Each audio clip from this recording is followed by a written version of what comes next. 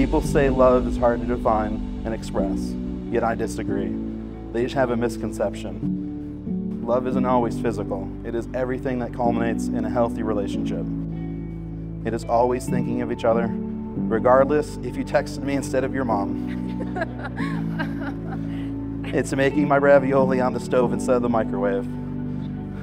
It's being too broke to do anything. So we drive around with Adam and Jenny and watch them puppy in the river. And is eating my whole bag of goldfish while I'm in class. Maybe it's time, time to surrender.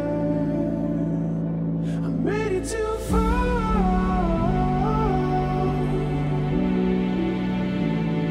I'm leaving it all. Hi.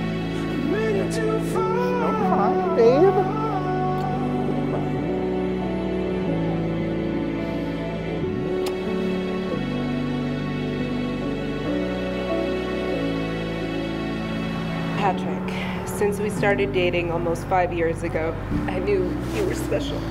Your passions, dreams, and personality and character are the things that made me fall in love with you. I'm so honored and proud to be standing here in front of all of our friends and family to declare my love to you today.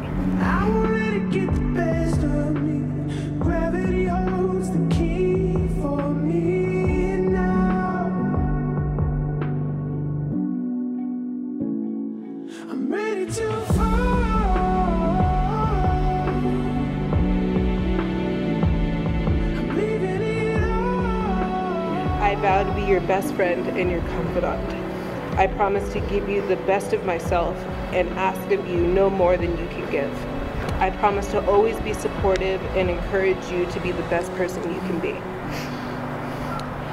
Because of you, I smile more, I laugh harder, and dare to dream more than I ever have. You're, you are always and will be the love of my life, my soulmate, my person. I can't promise you perfection, but I promise to always have half the heart. To strive to make this marriage and our lives the best they can be and to make you happy. And I will continue to update these vows constantly to ensure I am always there for you. I love you. Patrick, you may kiss your bride.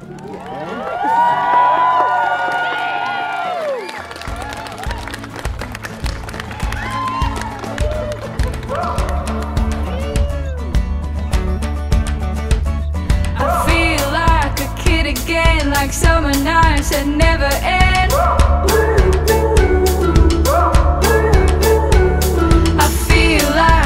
21, so easily falling in love.